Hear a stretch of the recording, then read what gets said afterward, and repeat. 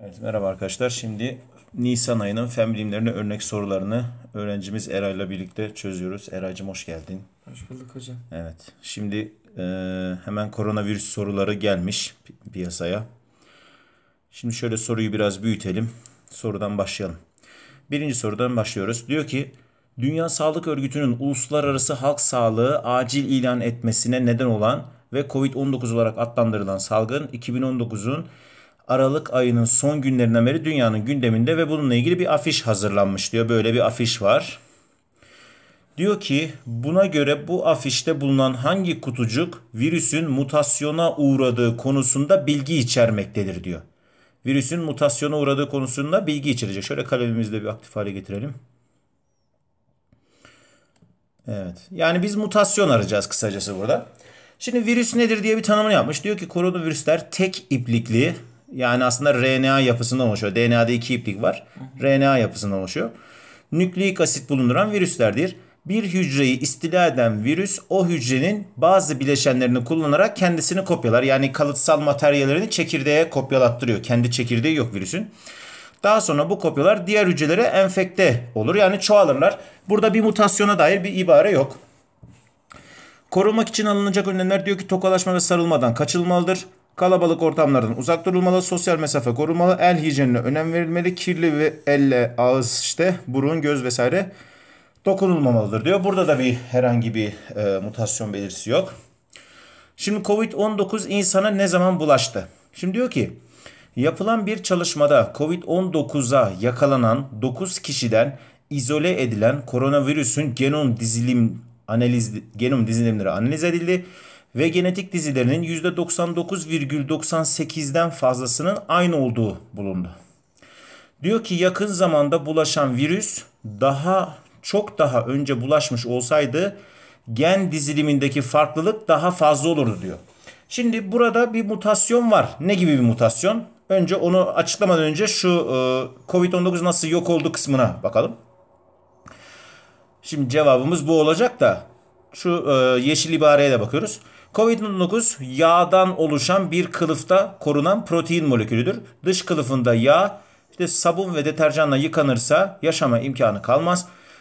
%65 ve üzeri alkol olan dezenfektanlar virüsün dış yağ kılıfını kırar. Güneş ışığı kuru ve sıcak ortamlarda e, kılıfları parçalanır ve daha hızlı bir şekilde yok olurlar diyor. Burada mutasyon yok. Şimdi burada biraz kırılması vesaire mutasyon gibi algılanabilir ama burada şöyle bir şey var. Virüsün etrafındaki yağı söküyorsun aslında. Virüsün etrafında yağ tabakası var. Ee, sen ellerini yıkadığın zaman bu yağ tabakasını çözüyorsun. Burada bir çözülme var. Mutasyon yok. Şimdi gelelim mutasyonumuza. Şimdi burada diyor ki bak bu virüs diyor %99.98'den fazlası aynı olmuştu. Daha önce bu virüs ortaya çıksaydı bu %99.98'lik değer iyice azalacaktı diyor. Yani aradaki farklılık daha fazla olacaktı. Bu ne demek istiyor? Şunu demek istiyor. Yani bu virüs zamanla mutasyona uğruyor. Genom, genom dizilimi sürekli değişmeye başlıyor. Yani normalde iki tane virüsün neden %100'ü aynı değil? Değil mi? Evet. Normalde benim diyelim ki e, elimdeki iki tane hücreyi çıkarsam genom dizilimlerinin %100 aynı olması lazım. Ama burada farklılık var. Küçük bir farklılık da olsa bu mutasyondan meydana geliyor. Yani bu virüs daha da durdukça iyice mutasyona uğrayacak gitgide ve etkisini kaybedecek. Evet bu soruyu e, bu şekilde bulmuş olduk. Şimdi ikinci soruyla devam edelim. Diyor ki ikinci soruda 2019 yılında yayınlanan Hükümetler Arası İklim Değişikliği Paneli raporuna göre insanlar sanayi devriminden sonra yerkürenin sıcaklığını 1 derece arttırmışlar. Yani yerkürenin ortalaması 1 derece artıyor. Yani günlük bir sıcaklık artışı değil. Bu çok önemli bir durum burada. Bu artış kuraklık, sel gibi olaylara ve deniz seviyesinin yükselmesi gibi nedenler. Yani buzulların erimesiyle deniz seviyesinin yükselmesine. Ee, yine bu rapora göre yerkürenin bir buçuk derece daha ısınması geri dönüşü olmayan sonuçlara da neden olacaktır diye bir ibare var. Şimdi diyor ki e, metinde bahsedilen geri dönüşü olmayan sonuçları engellemek için bizden engellemek için e, neler yapılabilir onu soruyor.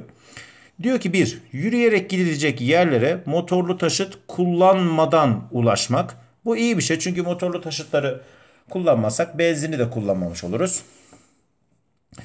Tarımsal üretime uygun olan orman alanları, orman alanlarını tarım alanına çevirmek kötü bir şey. Çünkü orman alanlarını yok etmek küresel ısınmayı iyice e, coşturacak bir şey.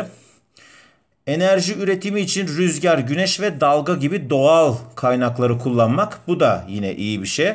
Cevabımız 1 ve 3 olacak. Zaten bu kolay bir soruydu.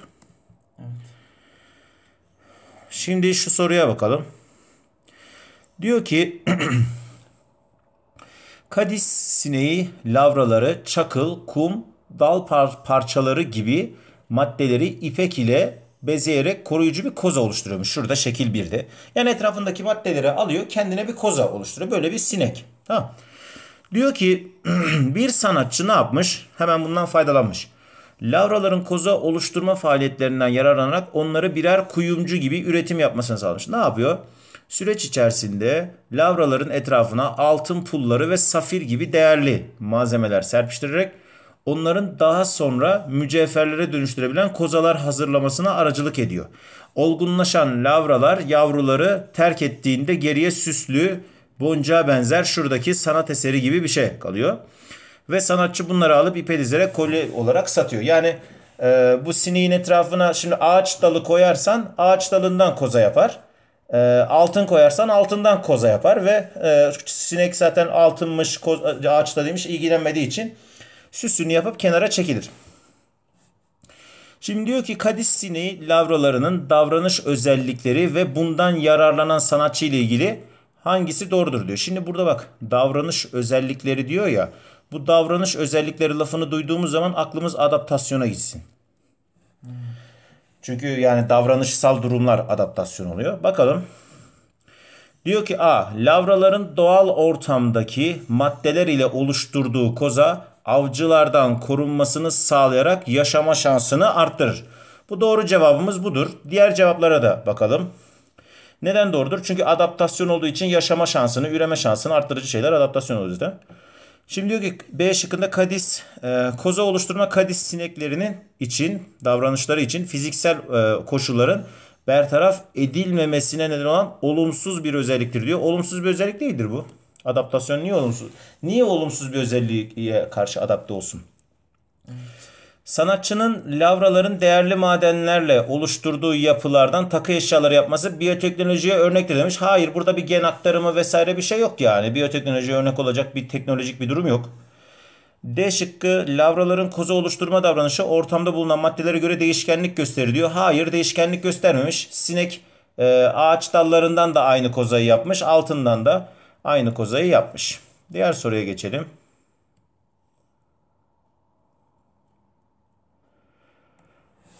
Evet bu soru da yine sıkça karşımıza çıkıyor. Şu Japonya'da oluşan deprem tsunami sorusu. 2011 yılında Japonya'da oluşan deprem ve tsunami'den sonra Fukushima nükleer santralinde radyasyon sızıntısı meydana geldi. Ee, bir süre sonra santralin çevresinde yaşayan Lisenit ailesinden mavi kelebek türünün görünüşünde bazı değişiklikler meydana geldi. Yani mutasyona uğradı demek istiyor. Zaten burada da önceki hali ve sonraki hali görülüyor. Evet. Bu kelebekler üzerinde yapılan araştırmalar sonucunda burası önemli iki nesil sonra bile kanatlarında küçülme ve e, gözlerinde şekil bozukluğu gözlen e, olduğu belirtiliyor. Demek ki bu olay bir mutasyondur evet. ve üreme hücresinde meydana gelmiş. Çünkü kalıtsal diyor. Aynen öyle. Nesiller nesil aktarılmış. Aynen öyle. Kazadan iki ay sonra santrale yakın bölgeden toplanan e, bu türe ait kelebekler laboratuvar ortamında yetiştirildiğinde bir sonraki e, nesilde mutasyona uğrama mutasyona uğrayan özelliklerin görülme oranında %18 artış olmuş. Yani laboratuvarda çoğaltınca yine artmışlar. Bu kelebeklerle sağlıklı kelebekler çiftleştirildiğinde mutasyona e, uğrama oranı %34'e yükselmiş. Yani sağlıklı kelebeklerle çiftleştirince mutasyon devam etmeye başlamış. Yani artarak. Hangisine ulaşılabilir diyor. Diyor ki laboratuvarda üremeleri sağlanan kelebeklerin tamamında, şimdi tamamında lafı zaten bizi direkt yanlış şıkka götürüyor. Tamamında sızıntının etkisi gözlenmemiştir. Ee, işte %18'lik bir artış olmuştur. Tamamı demek yanlıştır. Mutasyona uğramış bireylerin sağlıklı bireylerle döllendirilmesi sızıntının etkisini azaltmıştır diyor. Hayır. Az arttırmış. %34 oranında değil mi? Arttırdığı görülüyor. Mutasyon üreme hücrelerinde me- mutasyonun üreme hücrelerinde meydana geldiğinin kanıtı kelebeklerdeki değişimin sonraki Evet. nesillerde gözlenmesidir. Aynen öyle zaten biz bunu burada yazmıştık. Cevabımız o yüzden C şıkkı oluyor. Geçelim 5. soruya. Şimdi kalıtımda baskın özellik e, büyük harfle gösterilip e, bu durumda fenotipte görülebilirken çekinik özellik küçük harfle gösterilir vesaire. Burada bilgiyi vermiş zaten.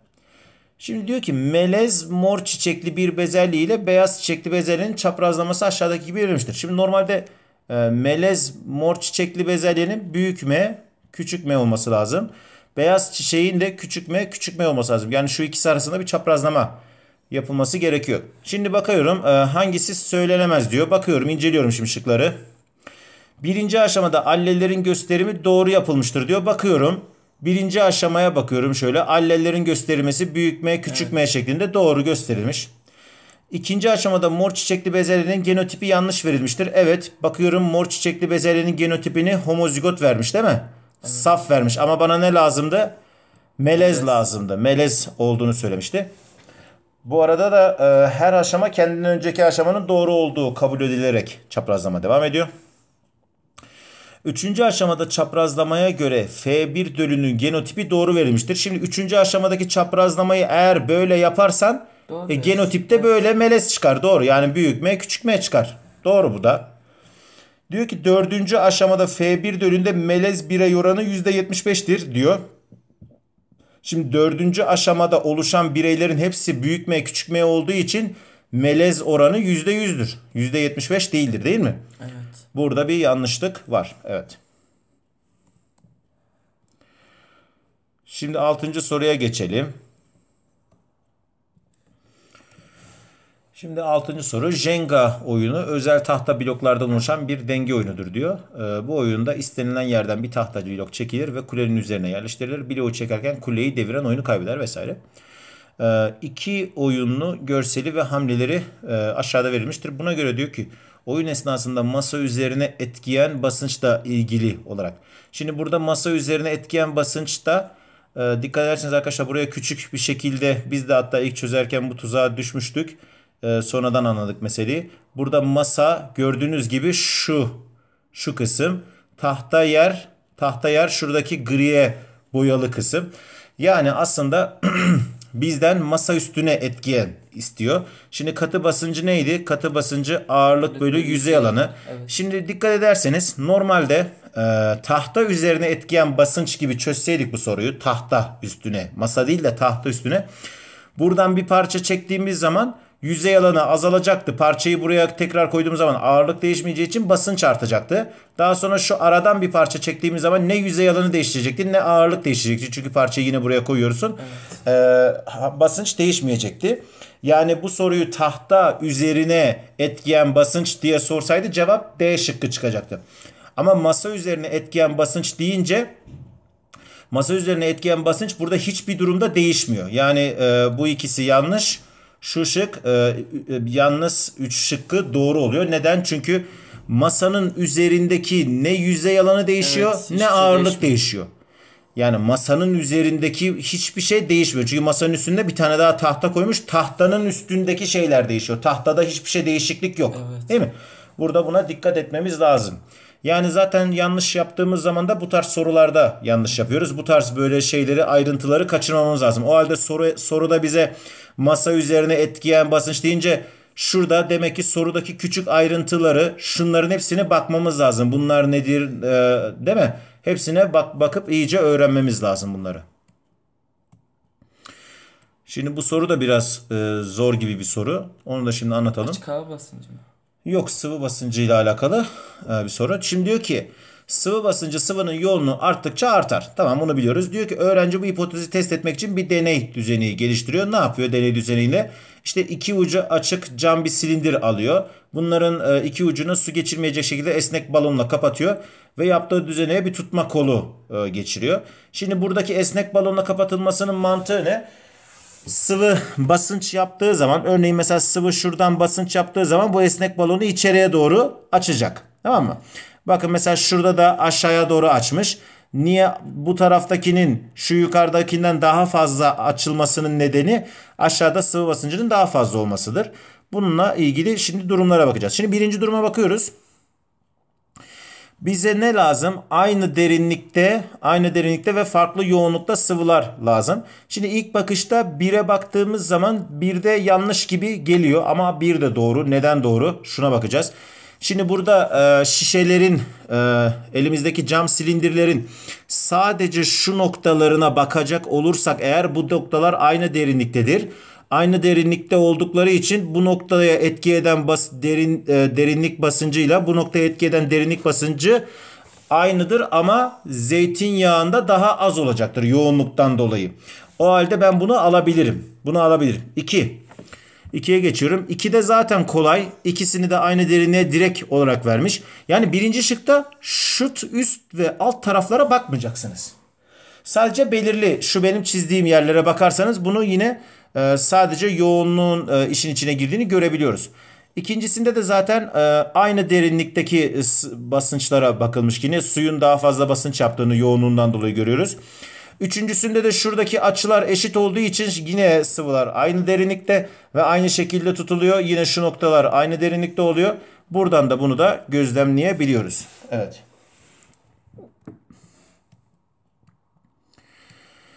Şimdi geldik 8. soruya.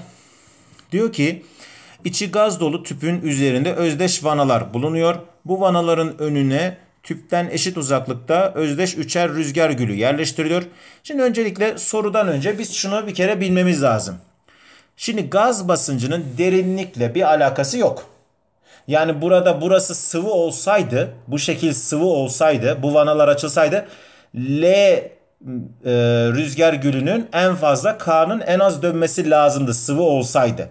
Ama içi gaz dolu diyor. Gaz dolu dediği için gazlarda basınç e, yükseklikle, derinlikle vesaire değişecek bir durumu yoktur. Her yerde eşittir. Yani K'nın da M'nin de L'nin de e, tıpasından çıkan gaz basıncı aynı güçtedir ve K'yı, M'yi, L'yi aynı hızda döndürür ve aynı anda dönmeye başlarlar. Diğer şıkları hiç incelemeye gerek yok. B şıkkında diyor ki tüm rüzgar gülleri aynı anda ve eşit hızlarla dönmeye başlarlar. Buna dikkat etmemiz gerekiyor. Yani gaz basıncı dediği için bu şekilde yaptık.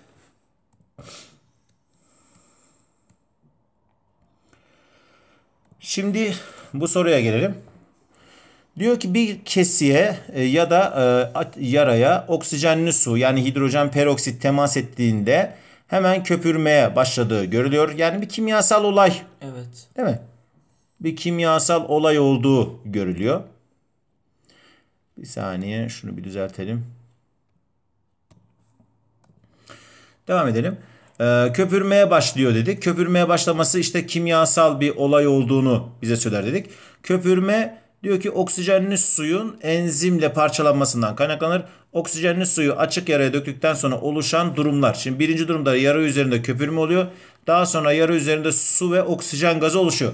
Şimdi o halde bunun bir denklemini yazmamız lazım bizim. Hidrojen peroksit H2O2'dir. Şimdi bazı öğrencilerimiz hocam biz bunu nereden bileceğiz diyebilir.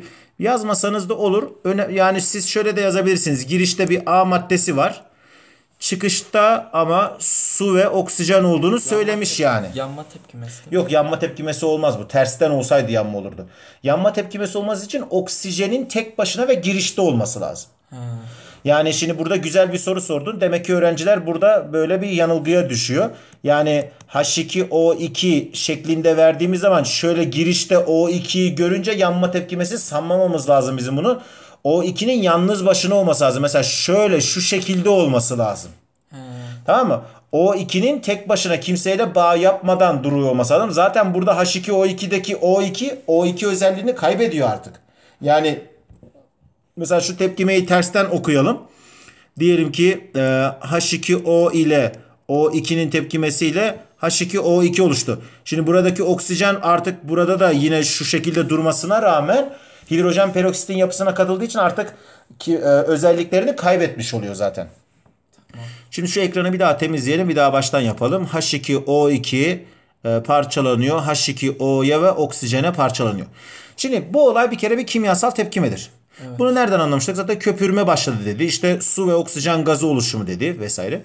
Bu olay sonucunda oksijenli suyu oluşturan yani şu hidrojen peroksiti oluşturan atomların arasındaki bağlar korunur demiş. Hayır korunmaz. Çünkü bakınız buradaki O2 ayrılmış değil mi? Evet. Ayrılmış yani bağlar korunmaz. Bağlar kopar yeni bağlar oluşur. Atomların sayısı korunur. Değil mi? Bunlara dikkat etmemiz lazım. Oksijenli su oksijen ve suyun özelliklerini gösterir demiş. Bu da yanlıştır. Çünkü kimyasal tepkimelerde e, gir, girişteki bir madde çıkıştaki maddelerin özelliklerini göstermez. Bunu 50 kere söyledik. Evet. Yani yalnız bir oluyor. O yüzden cevabımız yalnız bir oluyor. Aynen öyle. Şimdi son soruya geçiyoruz. Şimdi diyor ki çeşme suyunda bulunan kalsiyum e, içerikli bileşikler belirli bir süre sonra metaller üzerinde yapışıp kireç tortusu oluşur. Yani demliğin hani çaydanlıklarda kireç tortusu oluşuyor ya bundan bahsediyor.